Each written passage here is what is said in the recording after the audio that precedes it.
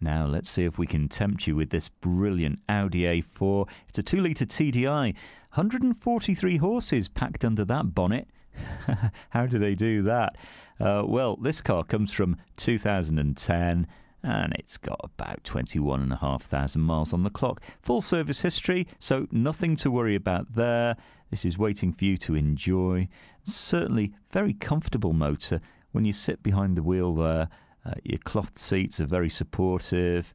Uh, nice, neat cabin and uh, remote central locking, of course. This has a lovely set of alloys too.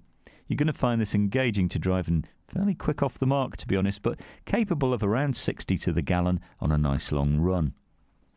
Now, if you're looking at this thinking, can I afford it? Well, maybe you can. Have a look at our finance options on the finance tab. At many of our cars, you can do on PCP, you can do traditional finance on all of them.